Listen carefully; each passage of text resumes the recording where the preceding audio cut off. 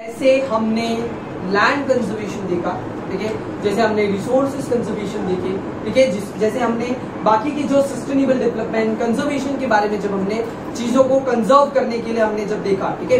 तो अब सवाल पता है कि सर, मैं क्यों पीछे सर, मैंने कौन सा पाप किया था? ठीक है? मुकेश वर्मा, क्या मैंने तेरा कुछ बिगाड़ा था? तो मुकेश वर्मा को बोलता है, नहीं। ठीक है? तो सॉइल कंजर्वेशन के बारे में भी एक छोटा सा डिस्कशन कर लेते हैं, ठीक है? सॉइल कंजर्वेशन का जब पार्ट आता है, ठीक है? तो सॉइल जो कि इरोड हो सकता है ठीक है विंड से भी बराबर? वाटर से भी। फिर बाद में वेव्स होंगे तो वेव्स भी सॉइल को इरोड करेंगे। ठीक है तो काफ़ी सारे ऐसे एजेंट्स ऑफ़ इरोजन है जो सॉइल को क्या करेंगे? इरोड करेंगे। ठीक है?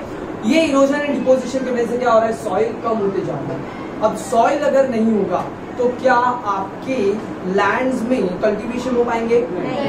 लैंड कल्टीवेशन नहीं होगा। ठीक है क्रॉप्स अगर नहीं उगाए जाएँगे कल्टीवेट नहीं की जाएगी। ठीक है तो आपको फूड्स आप तक मिलेंगे?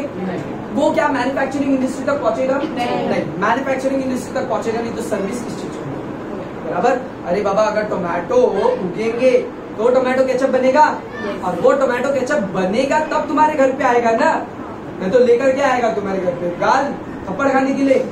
समझ रहा है? तो ये चीज़ें होती है कि soil conservation again it's are very important resources ठीक है सॉइल तो इसको कंजर्व करने का पैटर्न ठीक है बहुत अलग अलग होता है, जैसे कि आप बोल सकते हो टेरिस फ़ार्मिंग ठीक है जब अगर आप किसी सॉइल को कंजर्व करने के लिए टेरेसेस बनाते हो, ठीक है तो वो टेरेस बनने की वजह से क्या होता है कि वाटर जो होता है वो फॉल होने की वजह से वाटर फॉल होने की वजह से वाटर की वेलोसिटी वाटर की वेलोसिटी कम हो गई सॉइल इरोड होना बंद कर दूसरी चीज़ एक होता है कॉन्टूर प्लगिंग क्या होता है?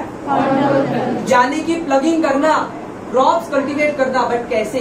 With contour lines contour lines हमेशा ऐसे होते हैं लूप्स में होता है। ठीक है?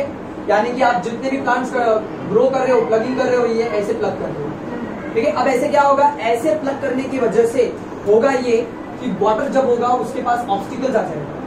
जितने बार वाटर के पास ऑब्स्टिकल्स मिलेगा वाटर क्या करेगा? इरोड नहीं कर पाएगा। ठीक है? इरोजन नहीं कर पाएगा।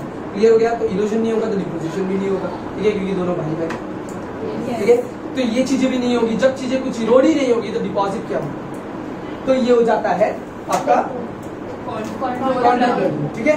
ये एक दूसरी चीज़ है। देन सॉइल कंजर्व कभी कभी विंड की वजह से भी होता है। तो स्ट्रिप फ़ार्मिंग ठीक है? जैसे आपने शेल्टर बेल्ट के बारे में सुना। ठीक है? तो आप अगर बेल्ट बनाओगे किसी चीज़ का अगर चेन बनाओगे अगर प्लांट्स का तो क्या होगा कि प्लांट्स की चेन बनने की वजह से विंड को वो ऑब्स्टिकल्स बनेगा और विंड की वेलोसिटी कम हो जाएगी और सॉइल अगेन इरोड नहीं होगा। तो ये एक सॉइल कंजर्वेशन का ये भी एक स्टेप है। ठीक है अब देखो सॉइल जब इरोड होता है तो कभी कभी जैसे आप देख सकते हो यहाँ पर गलीज बताया है, क्रैक हो जाता है। ठीक है? सॉइल इरोड होता है कभी कभी लैंडफॉल से। ठीक है?